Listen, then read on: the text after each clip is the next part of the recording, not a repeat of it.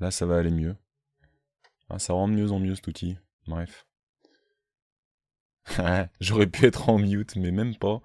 Même pas, même pas. C'est euh, Audio Hijack qui fait des, des sessions où euh, j'ajuste le volume du son, je fais un denoise dessus pour que vous n'ayez pas trop de parasites. Euh, ah, il avait décidé qu'aujourd'hui on, déma... démarrait pas comme ça.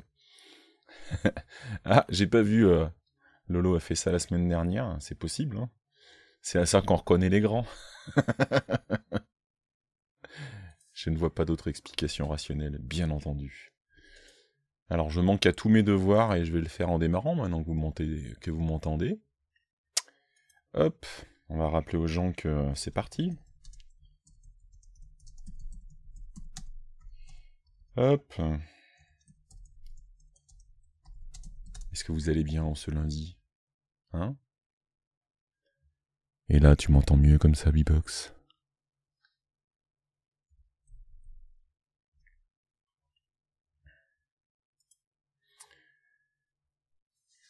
Alors, vous avez vu, hein, j'ai commencé par rajouter un bon coup de, décrassage des oreilles. Ça me permet de commencer à déborder avant même que B-Box ait cherché à me faire déraper.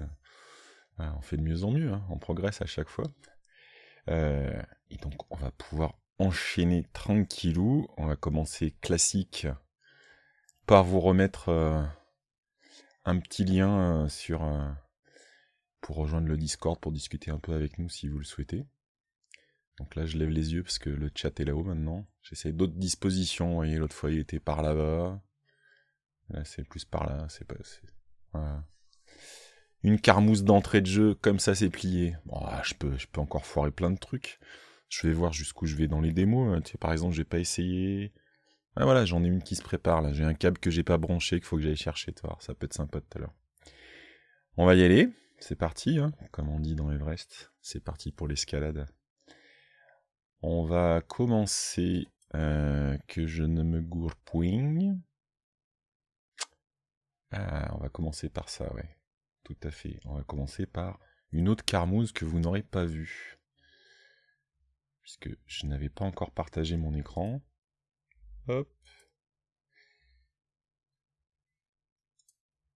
Quand je switch, euh, je fais l'émission avec Firefox pour vous partager tout ce que j'ai à partager. Si je le mets pas, par défaut, quand j'envoie mes liens avec mon magnifique, voilà, avec mon magnifique Stream Deck, ça l'envoie pas sur le bon navigateur, mais vous ne l'avez pas vu du coup. Euh, donc de plus en plus, hein, soit je me sers de tweets que j'ai repérés, soit je tweete des liens qui m'intéressent, comme je, fais un peu ma préparation d'émission en me faisant des signés euh, dans Twitter pour euh, ce que je voudrais vous montrer d'émission en émission ou le truc qui m'intéresse moi. Là, c'est un truc tout bête, mais si vous utilisez un Mac, vous avez quand même dû péter un câble assez rapidement. Je suis un fan pour plein de trucs. Je fais plein de screenshots, des bouts d'écran, des explications pour aller plus vite quand j'ai quelque chose à expliquer, que ce soit pour le boulot ou autre. Et par défaut, on ne sait pas pourquoi, mais Apple a décidé que bah, vos screenshots ils sont stockés sur le bureau. Donc quand vous passez vous, passez en mode bureau, vous avez euh, plein de, vignettes. Ça doit marcher là. Je les ai déplacés, donc on les voit pas, ils sont en dessous à gauche. Et c'est quand même un peu, euh, un peu crado. Et donc en fait, il y a un, il settings qu'on peut changer. Euh. alors là, il, crée un document, un, pardon, un répertoire qu'il appelle screenshot dans le répertoire document. Vous faites ce que vous voulez, vous le mettez l'endroit où vous voulez. Et vous faites un default write de la propriété comme Apple Screen Capture Location et vous pouvez euh, imposer l'endroit où euh, vos screenshots sont, sont, posés par défaut. Donc c'est quand même euh, c'est quand même pas mal d'avoir ce truc là par défaut. Je voulais vous le partager. C'est digne c'est digne d'un tweet de Messire Poncé ça. C'est du utile. Mais tu, peux le, ah, tu peux le changer depuis le, les, prefs de, l'outil capture. Ouais, bah, tu vois, je me suis pas posé la question. Ça faisait les captures, ça balançait, c'était dégueu, mais mais voilà, donc euh, je voulais le partager avec vous parce que ben moi c'est un truc que j'utilise beaucoup et j'en avais marre d'avoir euh, des choses toutes euh, toutes dégueu. hop, si vous voulez le lien, le voilà. Ensuite, autre tweet, autre sujet. Je sais que certains l'ont déjà repéré.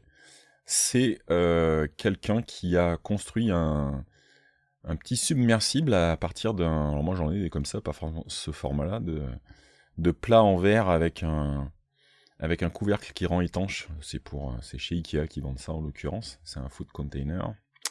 Euh, et lui, euh, il a décidé d'utiliser euh, des, aimants, bah, des aimants un petit peu costauds là, des néodines, et il s'en est servi pour, ben voilà, il montre toutes les phases d'expérimentation pour faire un, sous-marin avec oui, tu l'as RT ce matin? Ouais, c'est possible aussi. Ouais.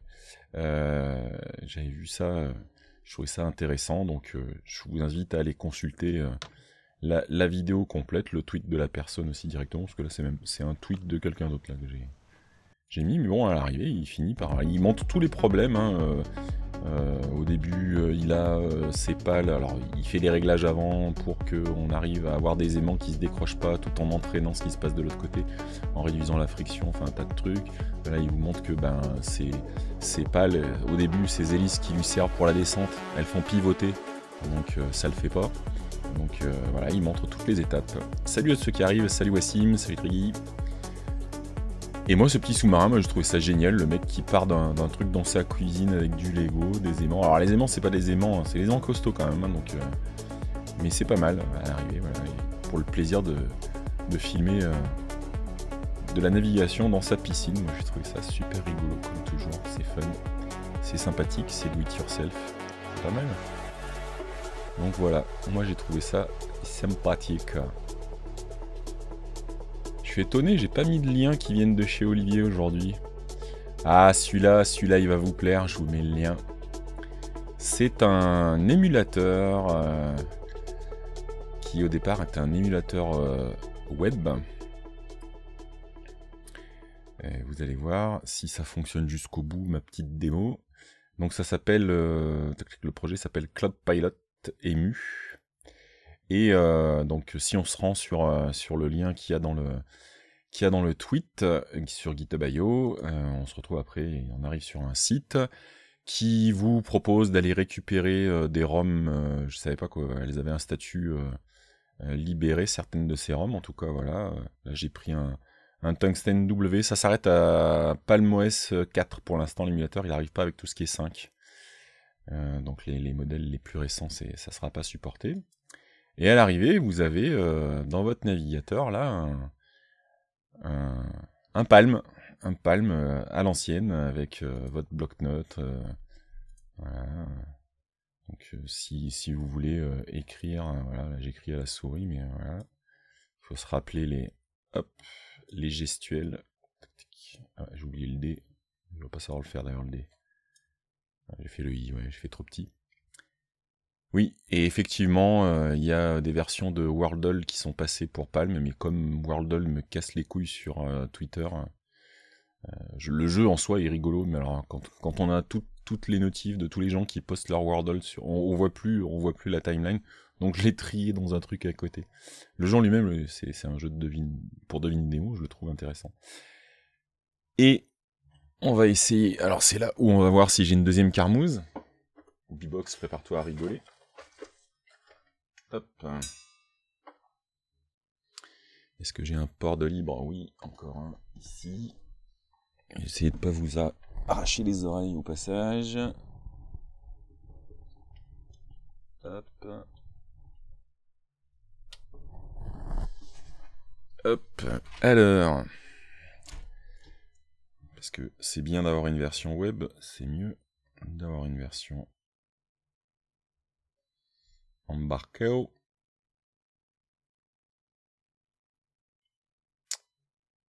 Et voyons voir si maintenant on va repasser sur.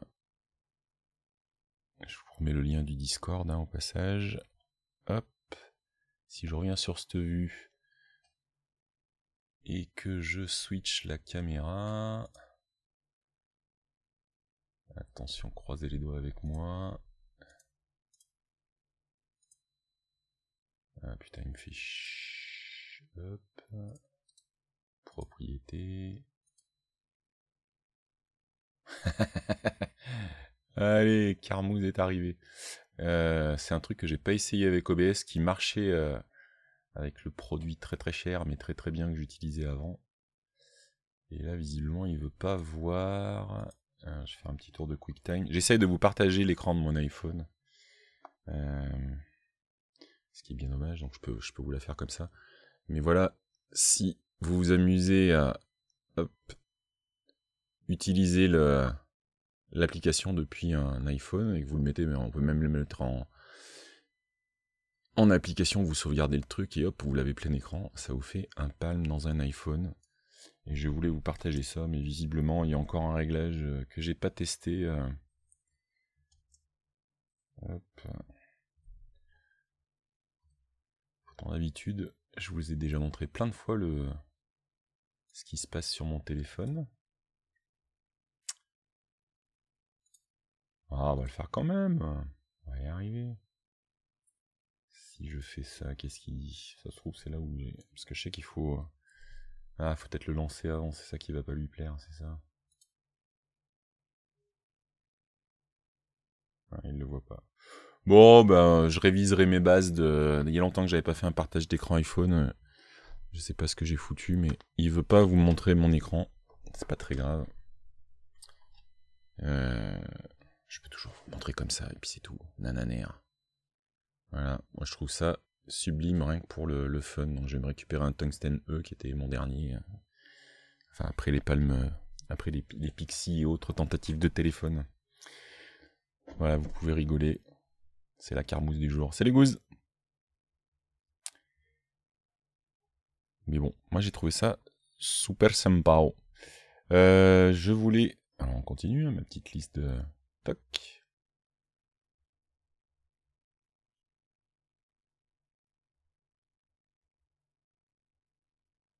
Eh, vas-y que ça, vas-y que ça s'auto-congratule d'aller à Devox et tout ça. Mais allez-y, mais c'est pas possible ça. Félicitations. Euh, l'autre truc que j'ai repéré, euh, je l'ai utilisé un petit peu, je vais vous le montrer là d'ailleurs.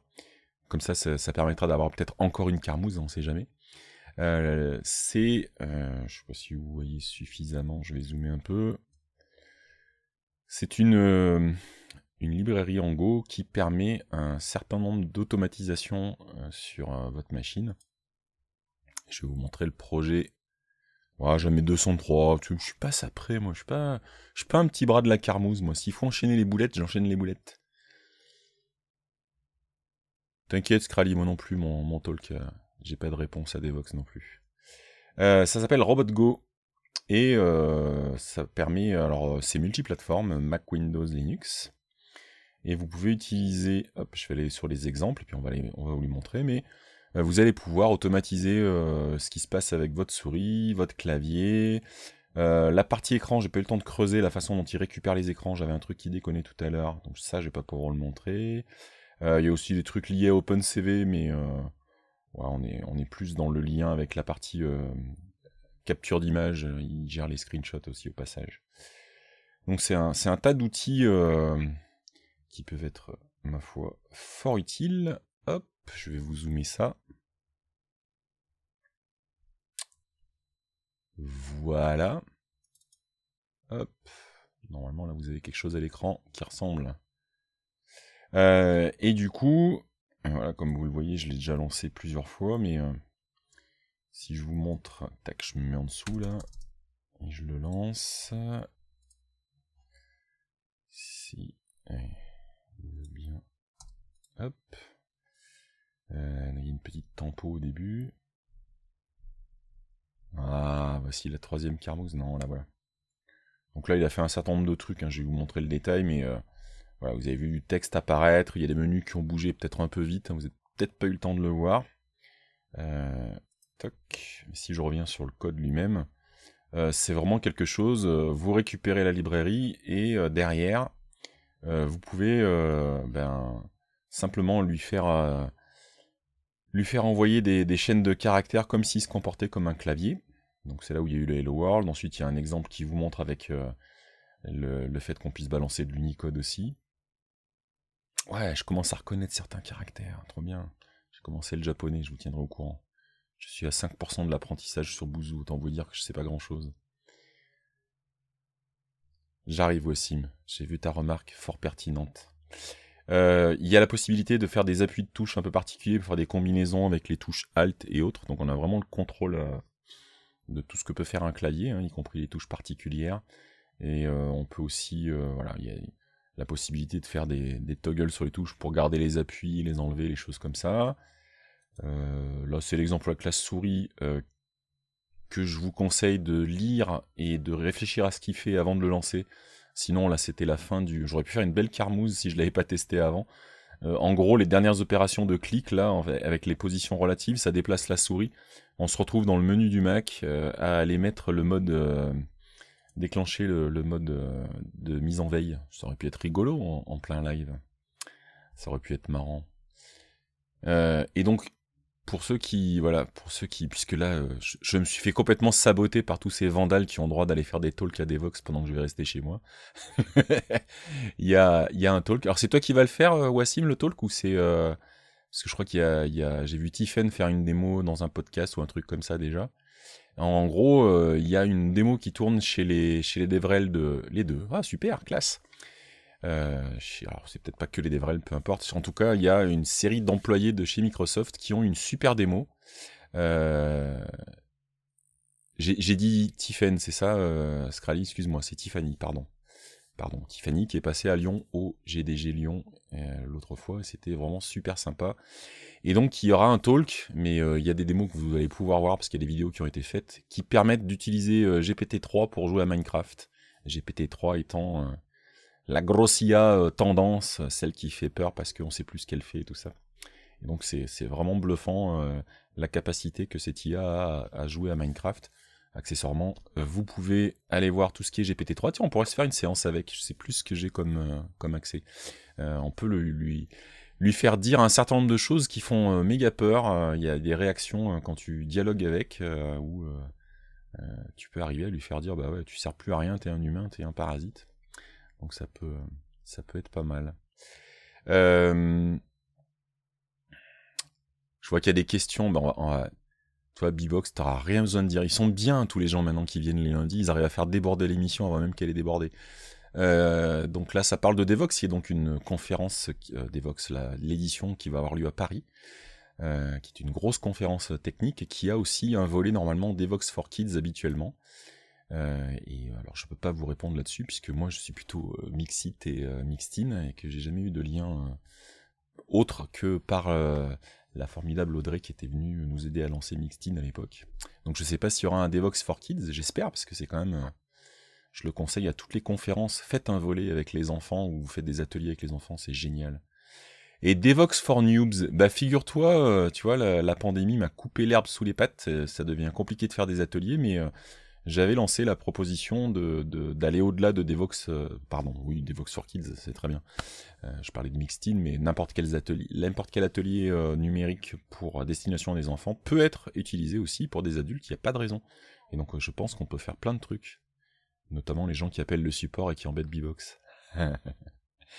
et, ou troisième âge, moi je kifferais d'aller d'aller faire des ateliers d'utilisation du numérique pour des personnes âgées dans une, je sais pas, un, des clubs où ils, euh, au lieu de jouer au bridge, on leur montrerait un peu euh, les outils qui sont autour d'eux et des fois qui les dépassent parce que euh, ils n'ont pas soit grandi avec, soit on leur a pas laissé cette chance. Voilà.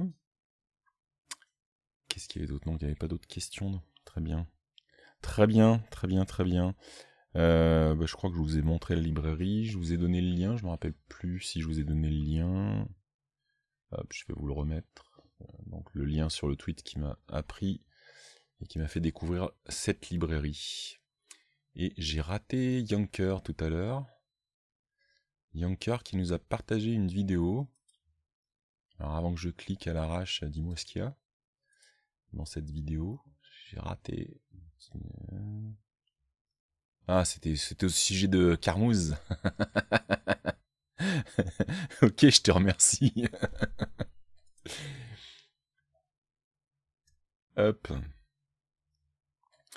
Non, mais là, entre l'émulateur euh, qui a pas voulu marcher, bon, la caméra, vous l'avez pas vu, euh, c'est, ça, en fait des rigolades.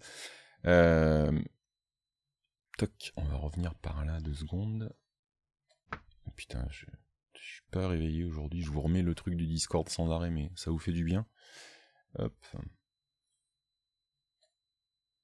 Oui, tu, tu parlais d'une série, c'est ça, B-Box. Une série sur les IA qui s'appelle Next?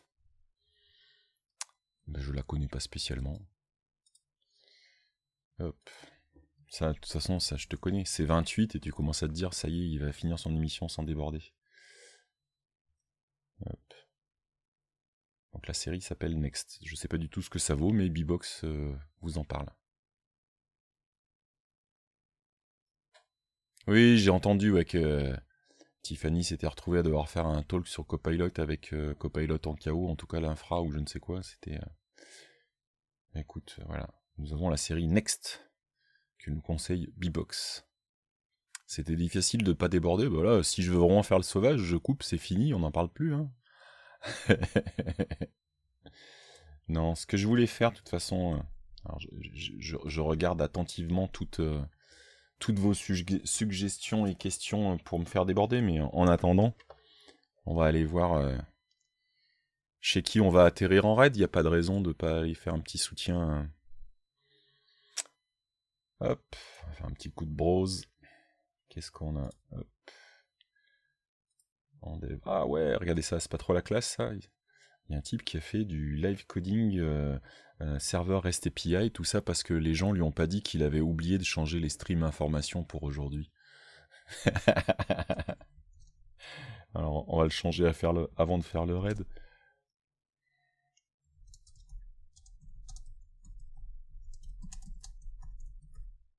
Hop.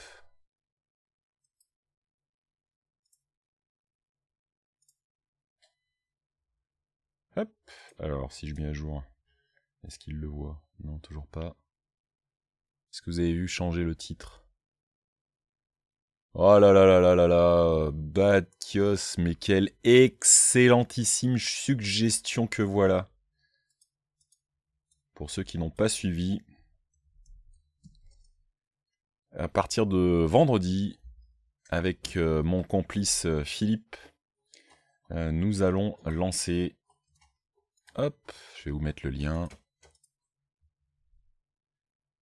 Euh, un lien qui veut pas copier parce que je sais pas pourquoi OBS il fait la gueule euh, au copier d'une certaine façon, faut les faire à la souris. Voilà. Donc on a la chaîne ici et euh... je sais plus où j'ai le lien. Je le mettrai, euh, je le mettrai. Là, le live vendredi aura lieu là à partir de midi et demi. L'idée, c'est de, faire un petit peu des, sessions le vendredi euh, où vraiment on fait euh, un partage sur un sujet technique. On essaye de faire vraiment. alors, ça peut être des initiations comme on va faire là. Pour redémarrer, on va faire une initiation Gitpod et puis on creusera dans les sessions d'après d'autres sujets autour de Gitpod pour configurer des trucs plus complexes, pour gérer pour montrer un petit peu ce qui se passe euh, avec, euh, avec les images. Ah, mais je me plante à chaque fois ce que je fais. Voilà. Euh, live coding et barbecue, ça c'est, ça peut être une thématique. Je vais quand même vous chercher la chaîne. Je dois l'avoir dans mes liens évidemment. Hein. Évidemment, on va essayer de les retrouver. Hop, hop, hop. la chaîne YouTube, elle est là. La voilà, la voilà. Hop. Est-ce qu'il va accepter? Non, toujours pas. Le copier-coller, je sais pas ce qu'il y a avec OBS, mais il faut que je le fasse à la souris, c'est intéressant. Si je fais à la souris, tout passe. C'est génial. Euh,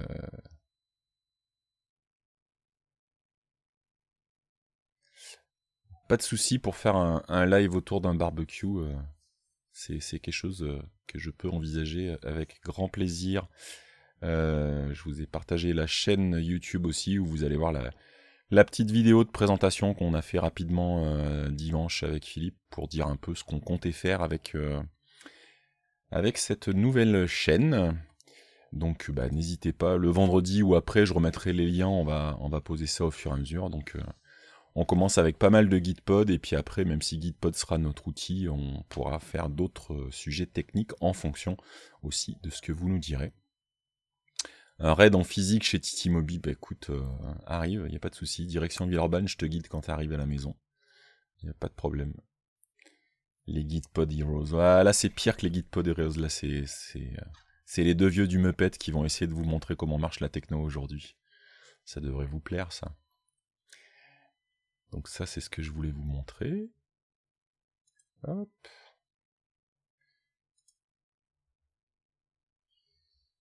Voilà, il y a quelqu'un qui nous est passé devant dans la catégorie euh, Software Game and Development en français. Ça va pas du tout ça. Alors, qu'est-ce que nous avons aujourd'hui euh, Quelqu'un qui fait du Clash of Code en Ruby, le jeu du clivage en TypeScript, Goal of the Year Java Expert. Il y, a de l'ambition, il y a des trucs, ma foi. Euh, quelqu'un que j'ai jamais vu encore. Euh, avec du dev. Euh, ben, je sais pas ce qu'il fait lui. Tiens, je vous ai déjà envoyé chez Hackeuse l'autre jour, c'est autre chose. Ouais, ouais, mais ah bah non, je vais sur une chaîne, mais en fait le mec il dit je reviens à 14h et il laisse son live tourner. Je vais pas pouvoir vous montrer ce qu'il fait évidemment. Twitch Validation Channel. Ah ça c'est quelqu'un qui s'en sert pour faire pour tester un outil. C'est mignon.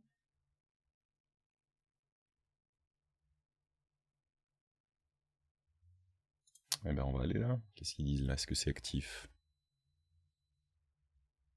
Ouais, j'ai le droit de me taper les pubs, je, je vais pas vous les diffuser. Hein. Non, vous l'avez pas dans le micro, tout va bien. Non, Philippe il râle pas du tout et moi non plus. Waldorf et Statler, les deux vieux du Muppet. Et à la place, vous avez droit Thierry et Philippe. Putain, les pubs sur Twitch, il y a un moment donné. Hein. Je confirme, il fait du vélo en ce moment, Philippe. Moi aussi, j'ai sorti le mien. Ah bah en plus, ils sont deux, et je sais pas ce qu'ils sont en train de nous faire. Du rubis, je connais pas trop ce qu'ils font, mais euh, on va aller voir. Hop. Hop.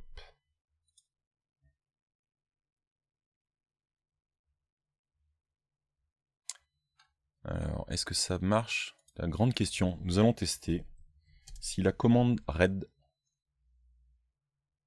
fonctionne depuis euh, OBS. Attention. Donc normalement, ça va partir euh, en raid si, euh, si je valide derrière. Donc bah écoutez, moi je vous souhaite un très bon lundi. Et puis ben on va envoyer le, raid et puis on, va voir un peu ce, que, ce que ça donne chez eux. Mais en attendant, moi, pour aujourd'hui, je vous laisse et je vous souhaite un excellent lundi.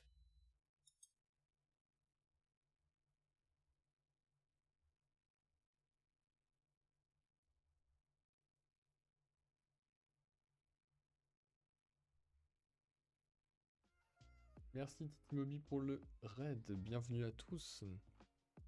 Bienvenue. Hello everyone, welcome. Yo. Je sais pas si c'est des français ou des anglophones. Bonjour. Hello, bienvenue. Coucou des francophones alors, bonjour, bienvenue à tous.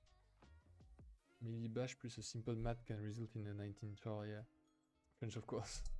En ah. français. Bah, du coup, merci. Vous étiez sur quoi juste avant Et on est sur des Clash of Code en Ruby. coding game, donc des petits problèmes. Le but c'est de résoudre l'exercice avec le moins de caractères possible. Et Ruby est très très fort pour ça, donc... Euh, la news tech. Ok, les échecs de démo.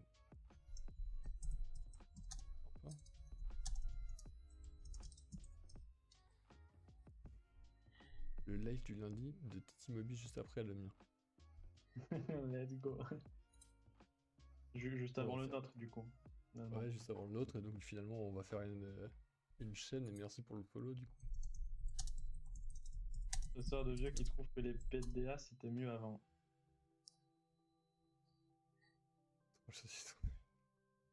On peut faire une chaîne, bah bientôt on va faire une TV tous ensemble à, se, transmettre les viewers comme ça. Et du coup, je, suis déconcentré et l'idée est-ce qu'on peut bien fixe Arrêtez de me déconcentrer parce que Théo il est content parce que pour l'instant il est à la première place mais ça va pas durer longtemps. vous laisse vous concentrer. Bah, pas besoin, pas besoin.